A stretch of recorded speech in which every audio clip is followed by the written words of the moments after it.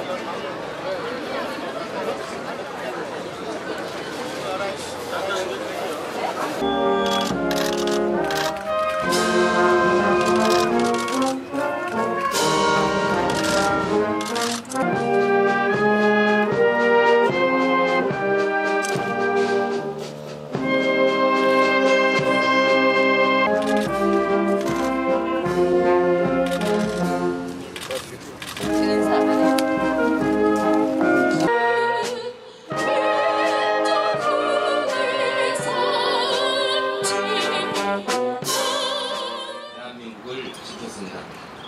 국권을 회복하고 대한민국을 지키기 위해 목숨을 바치신 순국연혈과 호국 영영의 명복을 빕니다. 아울러 유가족께도 깊은 위로의 마음을 전합니다. 유엔으로부터 도움을 받는 나라에서 도움을 주는 나라로 변모한 세계에서 유일한 나라.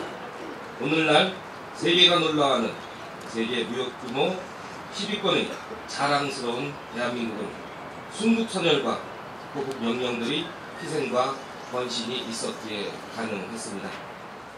존경하는 국가 유공자와 유가족 여러분, 우리 선조들께서 목숨 바쳐 지켜내신 이 나라를 위해 우리가 해야 할 일은 너무나 분명합니다.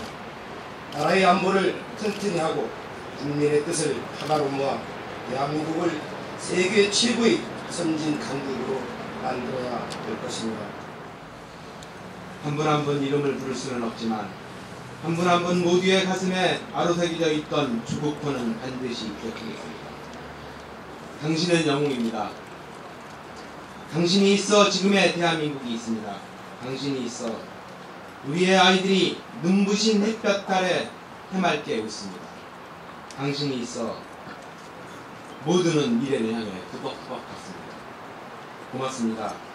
순국탄연이여 후경영이여 부디 그곳에서 편하게 잠들어서 그 뜻과 그 마음 저희가 온전히 짊어지고 세계를 걷겠습니다.